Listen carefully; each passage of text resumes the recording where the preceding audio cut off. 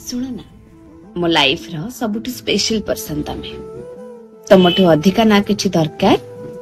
ନା ତମଠୁ କମ୍ କିଛି ଦରକାର ବାସ୍ ତମେ ଦରକାର ତମେ ଆଉ ମୁଁ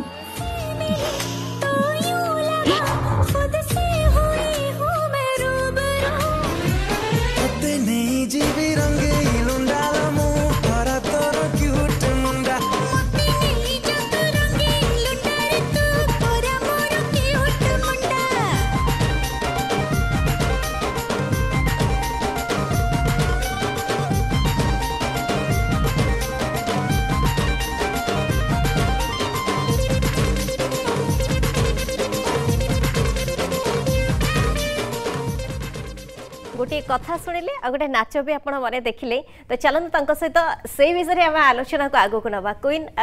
কিছুটা আমি দেখিছু আপনার সোশিয়াল মিডিয়ায় কিছুটা কথা থাকে এসব পঞ্চলাইন কাহার থাকে ଏସବୁ ପଞ୍ଚ ଲାଇନ୍ ମୋ ନିଜର ଅନୁଭୂତିର ଜୀବନର ଆଜି ପର୍ଯ୍ୟନ୍ତ ଯେତିକି ପାହାଞ୍ଚ ଚଢ଼ି ଚଢ଼ି ପହଞ୍ଚିଛି ଯେଉଁମାନଙ୍କ ସହିତ ମିଶିଛି ଯେଉଁମାନଙ୍କ କଷ୍ଟକୁ ଶୁଣିକି ନିଜେ କଷ୍ଟ ପାଏ ତ ଚେଷ୍ଟା କରେ ସେଇମାନଙ୍କ ଅନୁଭୂତି ଯେଉଁଟା ସେମାନେ ଡାଇରେକ୍ଟ କହିପାରନ୍ତିନି ମୁଁ ସେ ଦୁଃଖଟା ଫିଲ୍ କରି କହିବାକୁ ଚେଷ୍ଟା କରେ କାରଣ ତାଙ୍କ ଭଳି ଆହୁରି ସମାଜରେ ବହୁତ ଲୋକ ଥିବେ ବିଲକୁଲ ତ ତାଙ୍କୁ ଲାଗିବ ଯେ ଯାହା ହଉ ଆମ ମନ କଥା କହିଲା ଭଳିଆ କିଏ ତ ଜଣେ ଅଛି ବିଲକୁଲ ଏଇଠି ଆଉ ଜଣେ ମଧ୍ୟ ଆମ କଲର୍ ଅଛନ୍ତି କିଏ କହୁଥିଲେ କେଉଁଠୁ କହୁଥିଲେ আজ্ঞা আপনার স্বাগত করছি কার্যক্রম কি কৌলে কেউঠু কৌলে আজ্ঞা নমস্কার মু সম্বিত অনুকূল আজ্ঞা সম্বিত বাবু কথা হুঁতু কোইন আজ অনেক আমার স্টুডিওরে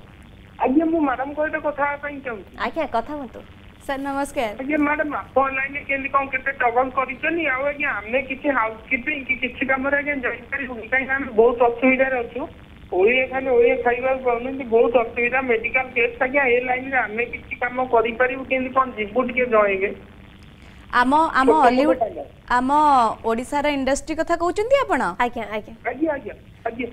ଦେଖନ୍ତୁ ଆମ ଇଣ୍ଡଷ୍ଟ୍ରି ଗୋଟେ ଏମିତି ଇଣ୍ଡଷ୍ଟ୍ରି ଏଠି ସମସ୍ତଙ୍କୁ ସ୍ୱାଗତ କରାଯାଏ ଏଠି କାହାକୁ ଅବହେଳା କରାଯାଏନି ତ ଆପଣ ଯଦି ନିଜକୁ ପ୍ରିପେୟାର କରିକି ଆସୁଛନ୍ତି ଯେଉଁ ସେକ୍ଟର ପାଇଁ ବି ଆସୁଛନ୍ତି ଆପଣ ଆମ ଇଣ୍ଡଷ୍ଟ୍ରି ଆପଣଙ୍କୁ ସବୁବେଳେ ସ୍ୱାଗତ କରିଛି ଆଉ କରିବ